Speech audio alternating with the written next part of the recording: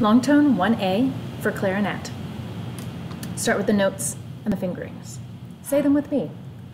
G, F sharp, G, G, F natural, G, G, E, G, G, E flat. New fingering, it's D with this bottom knuckle key.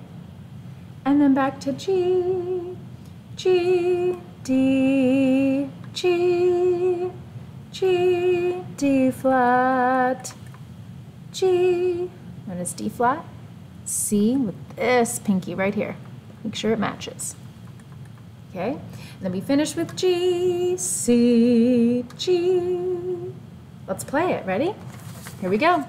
One, two, ready.